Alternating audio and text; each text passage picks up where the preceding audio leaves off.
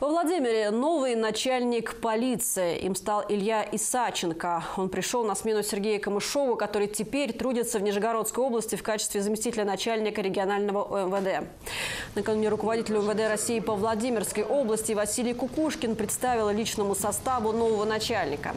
Областное начальство вручило ему приказ о назначении на должность, новое служебное удостоверение и выразило уверенность, что профессиональные навыки и большой опыт руководящей работы позволят Илье Исаченко справиться с возложенными обязанностями.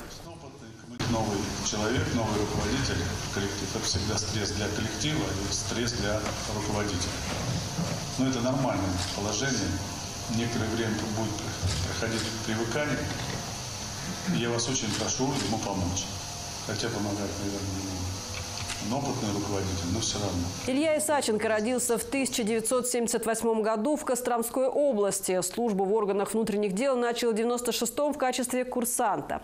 После обучения трудился в группе по борьбе с незаконным оборотом наркотиков криминальной милиции Костромской области. Более 11 лет Илья Исаченко занимал руководящие должности в различных территориальных органах МВД России в Костромской области.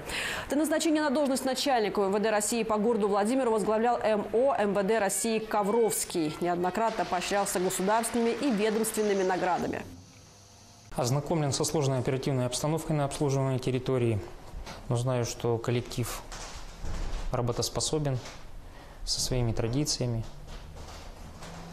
Надеюсь на долгосрочное конструктивное сотрудничество.